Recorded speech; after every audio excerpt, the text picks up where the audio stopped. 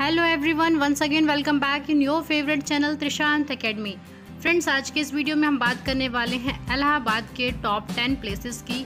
जैसे कि last video में मैंने आपको बताया था, कानपुर के टॉप टेन प्लेसेस वैसे आज हम इलाहाबाद की वो दस जगह की बात करेंगे, जो ऐतिहासिक हैं और जिन्होंने हिंदुस्तान में अपना एक अलग ही नाम बना रखा है। तो चलिए दोस्तों, बिना ज़्यादा समय लिए आज का वीडियो स्टार्ट करते हैं। तो फ्रेंड्स, नंबर टेन पर आता है न्यू यमुना ब्रिज, यानी कि नवीन यमुना सेतु। नवीन यमुना सेतु, जिसे नैनी ब्रिज के नाम से भी जाना जाता है, भारत के सबसे लंबे केबल वाले पुलों में से एक है। जी हाँ दोस्तों, यह यमुना नदी पर उत्तर दक्षिण दिशा में स्थित है, तथा यह नैनी क्षेत्र को प्रयागराज से जोड़ता है। यह वर्ष 2004 में पुराने नैनी ब्रिज पर यातायात की भीड़ को कम करने के लिए बनाया गया था। पुल का निर्माण हिंदुस्तान कंस्ट्रक्शन कंपनी और हुंडई इंजीनियरिंग और निर्माण ने संयुक्त रूप से किया था। अब फ्रेंड्स, प्रयागराज की इस लिस्ट में हम नंबर नाइन पर बात कर रहे हैं, इलाहाबाद हाई कोर्ट। दोस्तों, इलाहाबाद उच्च न्यायालय मूल रूप से ब्रिटिश राज में भारतीय उच्च न्यायालय अधिनियम 1861 के अंतर्गत आगरा में 17 मार्च 1866 को स्थापित किया गया था। जी हाँ दोस्तों, उत्तरी पश्चिमी प्रांतों के लिए स्थापित इस न्यायाधिकरण के पहले मुख्य न्यायाधीश थे सर वाल्टर मॉर्गन। दोस्तों, सन 1869 में इसे आगरा से इलाहाबाद स्थानांतरित किया गया। अब दोस्तों, नंबर एट पर आता है मिंटो पार्क।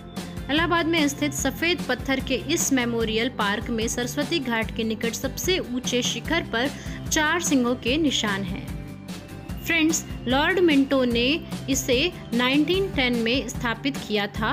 1 नवंबर 1858 में लॉर्ड कैनिंग ने यहीं रानी विक्टोरिया का लोकप्रिय घोषणा पत्र पढ़ा था।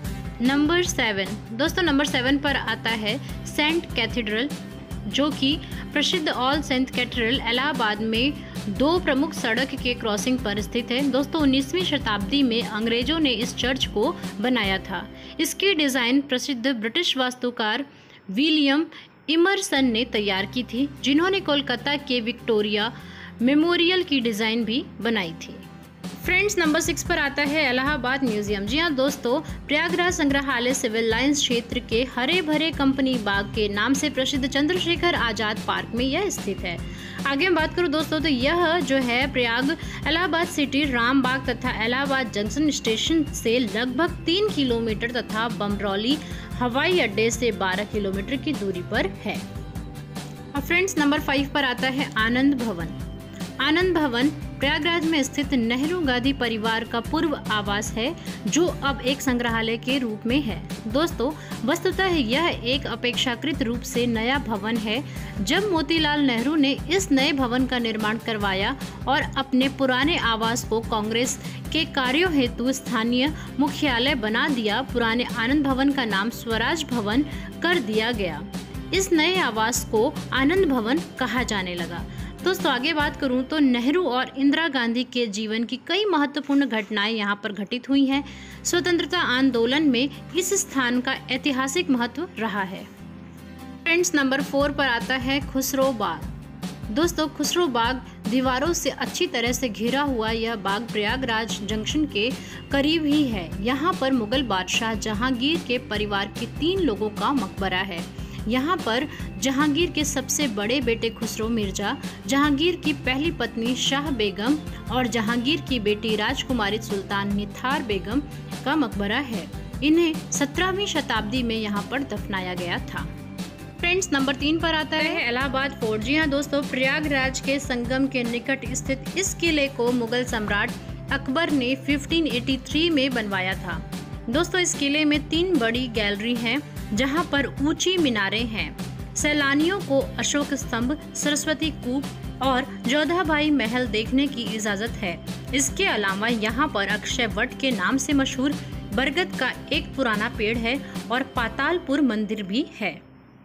दोस्तों, नंबर टू पर हम बात करते हैं त्रिवेणी संगम। दोस्तों, त्रिवेणी संगम को कौन नहीं जानता है? त्रिवेणी संगम हिंदुस्तान में ही नहीं, बल्कि विदेशों में भी प्रत्येक व्यक्ति को इसके बारे में पता होगा। दोस्तों, आप भी अच्छे से जानते होंगे। फिर भी जब बात होती है प्रयागराज की, बात होती है इलाहाबाद की तो त्रिवेणी संगम कैसे छूट सकता है? दोस्तों, हिंदू परंपरा में त्रिवेणी संगम जो है, तीन नदियों का संगमा है। संगमा एक संस्कृत शब्द है दोस्तों, जिसका मैं प्रयोग कर रही हूँ। अब हम संगम की बात करें दोस्तों तो यहाँ पर गंगा नदी, यमुना नदी और एक अदृश्य सरस्वती नदी का मिलान है। दोस्तों, ऐसा माना जाता है कि सरस्वती बहुत पहले से ही अदृश्य हो चुकी थी, किंतु संगम में जब आप आते हैं, त्रिवेणी स्नान करते हैं तो ऐसा कहा जाता है यहाँ पर इस जन्म के और पुनर्जन्म के भी पाप धुल जाते हैं, क्योंकि यहाँ पर माना जाता है कि गंगा, यमुना व सरस्वती का यहाँ पर मिलन होता है। अब फ्रेंड्स नंबर वन पर आता है चंद्रशेखर आज़ाद पार्क। दोस्तों, चंद्रशेखर आज़ाद पार्क की अगर हम बात करें तो वर्ष 1870 में सक्स कोबर्ग के राजकुमार अल्फ्रेड एवं गोथा प्रयागराज, जो कि उस समय इलाहाबाद के नाम से तो दौरे पर आए हुए थे।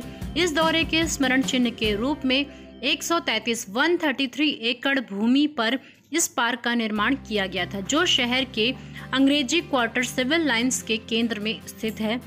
वर्ष 1931 में इसी पार्क में क्रांतिकारी स्वतंत्रता सेनानी चंद्रशेखर आज़ाद को अंग्रेज़ों द्वारा एक भयंकर गोलीबारी की वीर गति प्राप्त हुई थी। जी हाँ दोस्तों, आज़ाद की मृत्यु 27 फरवरी, यानी कि 27 फरवरी 1931 में 24 यानी कि 24 साल की उम्र में ही हो गई थी। तब से हम इसे चंद्रशेखर आज़ाद पार्क के नाम से जानते हैं। और जो मैंने अभी बताया, आपको अल्फ्रेड पार्क भी इसका नाम है। तो अल्फ्रेड पार्क जो है, वो राजकुमार अल्फ्रेड के नाम पर रखा गया था। तो फ्रेंड्स, अगर मेरे द्वारा बताई हुई जानकारी आपको पसंद आई हो, प्रयागराज की जानकारी आपको अच्छी लगी हो तो वीडियो को लाइक करना मत भूलिएगा। कोई भी कमेंट हो तो आप कमेंट बॉक्स में हमें कर सकते हैं। चैनल पर नए हैं तो चैनल को सब्सक्राइब ज़रूर कर लीजिए, फ्रेंड्स। बहुत जल्द मिलेंगे हम लोग नेक्स्ट वीडियो में। तब तक के लिए टेक केयर बाय